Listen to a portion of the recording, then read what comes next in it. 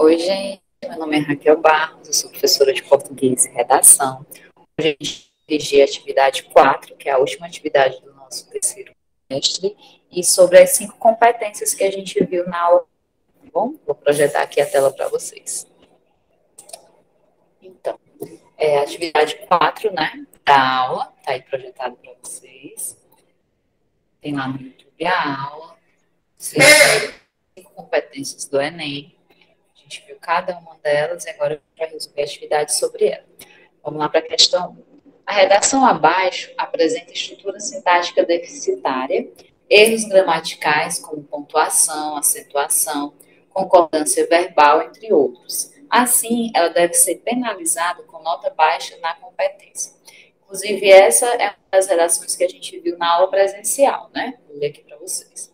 As pessoas falam como doença menta, não é um problema, porque A com acento doença não é tão divulgado, mas com I, era para ser sem o I, né? Uma dos problemas, erro aí de concordância nominal, mais grave que tem, 11 milhões de pessoas têm depressão. Esse tem deveria ter um acento circunflexo, porque indica plural. É o governo podia, o é com acento, podia com acento também, que não é para ter, fazer mais investimento para não caso não falta informação, era para ser faltar, tá faltando um R aí. Esse, essa, essa vírgula também está errada, né? É um tratamento melhor, está faltando o R para ser melhor. Fazer campanha à doença, para ser contra a doença. Segunda causa de afastamento de trabalho.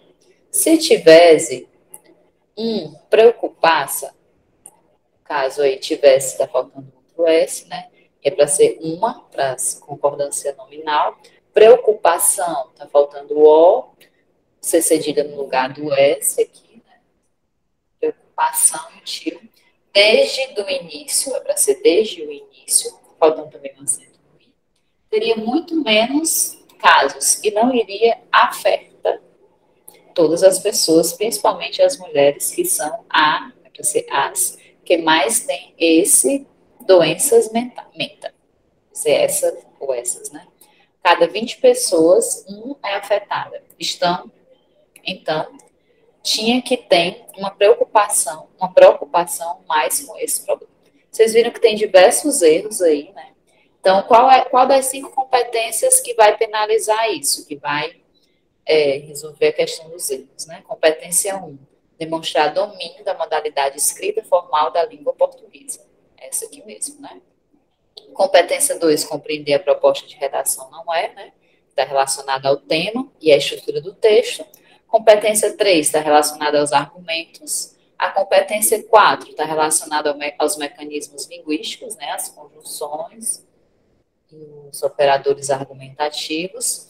E a competência 5 está relacionada à conclusão, que é a solução do problema. Então, o item certo é o item 1. Um trecho abaixo tem uma abordagem completa do tema, que é avaliado na competência 2. De acordo com esse parágrafo, podemos afirmar que o tema dessa redação é, o artigo 6 da Constituição Brasileira de 1888 garante a saúde de todo cidadão.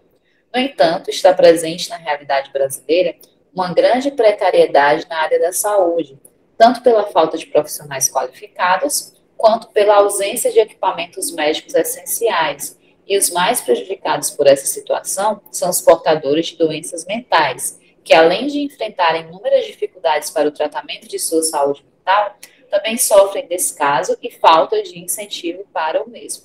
Então, esse parágrafo aqui, qual é o tema que ele está abordando? É o item 1, persistência da violência contra a mulher? Não, né? Caminhos para combater a intolerância religiosa no Brasil também não. Desafios para a formação educacional de surdos no Brasil também não. Manipulação do comportamento do usuário pelo controle de dados da internet também não. De 2020, o estigma associado às doenças mentais na sociedade brasileira. Então, o item correto é esse, né? Que ele está falando aqui ó, sobre doenças mentais enfrentam inúmeras dificuldades para o tratamento. Então, é justamente esse daqui, o estigma preconceito que sofrem as pessoas que têm doenças mentais. Né? Terceira questão. Observando a imagem abaixo, marque a opção que representa o repertório sociocultural legitimado, conhecimentos adquiridos ao longo da sua experiência de vida e de seus anos de leitura e estudos. Todas as informações que aprendemos a partir de jornais e revistas que lemos, de programas e filmes que assistimos, experiências de vida, viagens, observações sobre a realidade que vivemos. Então, você vai ver qual é o, a opção que representa o repertório sociocultural, tudo isso né, que eu li para vocês, que é adequado ao exemplo. A gente tem aqui um exemplo de repertório. O bullying é a prática de atos intencionais e repetidos de violência física ou psicológica, cometidos por uma ou mais pessoas contra outra pessoa. Então, existem várias formas de você colocar um repertório sociocultural. Aqui a gente tem cinco formas diferentes, né? Esse que a gente está vendo aqui é uma informação, uma citação? Não, né? A gente não tem uma citação aqui. Tem referência a um estudo, ou filme, livro, peças? Também não. Referência a meios de comunicação conhecidos? É, portal G1, Diário do Nordeste? Também não. Tem referências a personalidades, citação de alguém que entenda do assunto? Também não. Então, o item correto vai ser o item A, conceitos e suas definições, com exemplos especificando a referência a estudos. Então, tá, a gente está vendo aqui que tem a definição do bullying. O que é bullying, né? Então, é um conceito e uma definição que está sendo usado como repertório. Então, todas essas que foram citadas aqui, vocês podem utilizar na redação de vocês, tá? Vocês podem utilizar informações, citações, vocês podem citar dados estatísticos, livros, filmes, podem utilizar também, é, fazer referência a jornais, revistas, ou citar filósofos, estudiosos e autoridades em alguma área, tá bom? A quarta questão. As palavras marcadas abaixo são chamadas de elementos coesivos e são avaliadas na competência 4. A redação abaixo apresenta presença de muitos elementos coesivos, bastante diversificados, além de não ter reduções e inadequações. Por isso, ela deve ser avaliada nível. A gente viu na, nas competências né, quais são os níveis. Nível 1 é o nível mais baixo, o 5 é o nível mais alto, né, o nível máximo. Como vocês podem ver aqui, ó, tem parágrafo, tem vários, várias conjunções, vários é, operadores argumentativos. Ó, esse fato, essas pessoas, por isso, acerca disso, nesse viés, além disso. Então, tudo isso aqui, como tem muitos elementos coesivos e diversificados, a gente vai avaliar no nível 5 nível máximo, tá bom? E o trecho, a quinta questão, o trecho abaixo, é a conclusão de uma redação sobre a persistência da violência contra a mulher na sociedade brasileira. Ao analisar, de acordo com a competência 5, que avalia a proposta de intervenção elaborada pelo participante, podemos concluir que, vamos lá avaliar a proposta. Portanto, para que haja o fim deste cenário violento contra a mulher, é imprescindível o esforço coletivo. O Estado, a gente já vê que quem, né, deve otimizar a infraestrutura destinada a essa seara, a gente já vê que o que deve ser feito, ampliando o número de delegacias da mulher, a gente já tem a outra, a outra coisa que é necessária, né, como é que isso vai ser feito, a gente tem um detalhamento, por exemplo, além de se unir a instituições profissionalizantes, Aí, por último, a gente tem o efeito, conflito com o efeito, com o objetivo de capacitar cada vez mais profissionais que lidem de forma mais positiva possível com a proteção dos direitos femininos.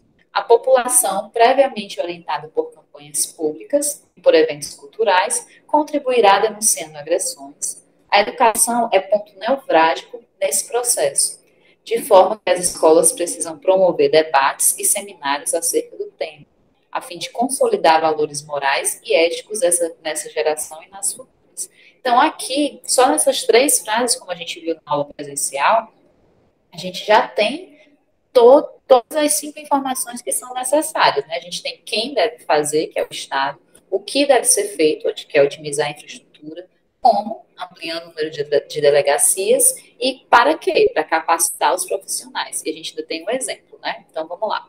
Ah, o candidato não atendeu aos elementos necessários para uma boa proposta de intervenção? Errado, a gente já viu que ele atendeu os cinco elementos que precisa. elabora muito bem a proposta, especificando quem vai resolver o problema, o que vai ser feito, como e para quê. Esse aqui é o item correto, né, gente? Então, o restante vai estar errado. Então, boa sorte, estudem. Peraí, que tá tocando aqui o telefone. Não vai parar de tocar. Fábio, tu já vai cortando isso aí.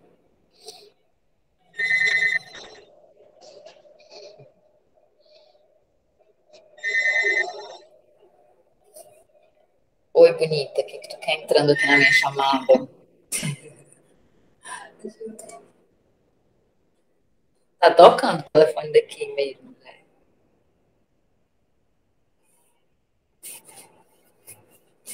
Fábio. Então, vou só encerrar, viu? Voltando aqui para o 5. Pronto. Então, o item correto aqui no 5 é elabora muito bem a proposta, especificando quem vai resolver o problema, o que vai ser feito, como e para quê. É o item B, tá bom? Então, estudem. Então, estudem, boa prova, bom retorno. Graças a Deus já está tudo normalizando. Pouco a gente já vai estar tá no dia a dia em sala de aula, tá bom? Beijinhos. Tchau, tchau.